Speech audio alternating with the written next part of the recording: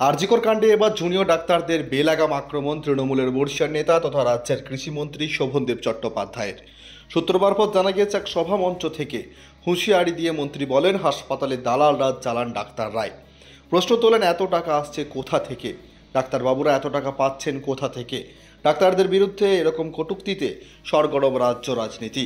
একদিকে যখন রাজ্যের মুখ্যমন্ত্রী ডাক্তারদের কাজে ফেরাতে চাইছেন, ঠিক তখনই রাজ্যের মন্ত্রীর এ ধরনের হুঁশিয়ারি বেশ কিছুটা বিড়ম্বনা বাড়াচ্ছে শাসক তৃণমূলের। তবে কি খোদ তৃণমূলই চাইছে না ডাক্তারদের জটিলতা মুক্তি হোক, নাকি পুরোটাই মুখ্যমন্ত্রীর আইওয়াস? বুধবার হারোয়ায় দলের বিজয় সম্মেলনী অনুষ্ঠানে হাজির ছিলেন শাসক দলের এই প্রবীণ নেতা। সেখানে একঝাঁক নেতার সামনে মঞ্চে দাঁড়িয়ে প্রকাশ্যে প্রশ্ন তুলে তাদের নিশানা করেন মন্ত্রী শোভনদেব চট্টোপাধ্যায়। তার সেই বক্তব্যের ভিডিও ইতিমধ্যে ভাইরাল হচ্ছে সমাজ মাধ্যমে। শুধু জুনিয়র ডাক্তারদের আন্দোলন নিয়ে প্রশ্ন তোলাই নয়, ডাক্তারদের আন্দোলনকে সিপিএম এবং নকশালদের আন্দোলন বলেও কটাক্ষ করেন রাজ্যের কৃষিমন্ত্রী শোভনদেব চট্টোপাধ্যায়। জুনিয়র ডাক্তারদের আন্দোলনে খাবারের জন্য দশ কোটি টাকার বেশি এসেছে। আন্দোলনের নামে কি হচ্ছে? কোথা থেকে টাকা আসছে? কারাই টাকা পাঠাচ্ছে? সেই সব প্রশ্নের উত্তর চান রাজ্যের মন্ত্রী।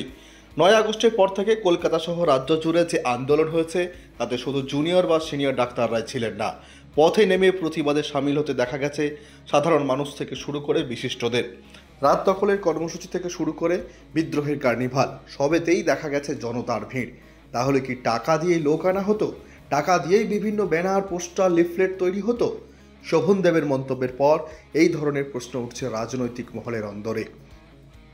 বেহাল স্বাস্থ্য ব্যবস্থার হাল ফেরাতে ব্যর্থ রাজ্য সরকার। বারবার জুনিয়র ডাক্তারদের নিয়ে বৈঠকে বসে সমাধান সূত্র মেলেনি। বেড়েছে জটিলতা। আশ্বাসের পর আশ্বাস, বারবার প্রতিশ্রুতি ভাঙে, মন ভেঙেছে জুনিয়র ডাক্তারদের। অভয়ার বিচারের দাবিতে রাজপথ দখল নিয়েছে জুনিয়র ডাক্তার থেকে নাগরিক সমাজ। জুনিয়র ডাক্তারদের একাধিক ন্যায্য দাবি দেওয়ার বিষয়টি খতিয়ে দেখার আশ্বাস দেন রাজ্যের খোদ মুখ্যমন্ত্রী। কিন্তু কোনো রফা সূত্র মেলেনি। যখন রাজ্যের খোদ মুখ্যমন্ত্রী, জুনিয়র ডাক্তারদের সমাধান সূত্র চাইছেন, ঠিক তখনই জুনিয়র ডাক্তারদের বিরুদ্ধে তৃণমূল নেতাদের একাংশের আক্রমণ।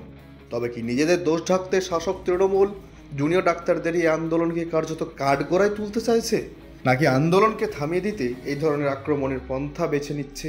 সেটাই এখন বড় প্রশ্নের।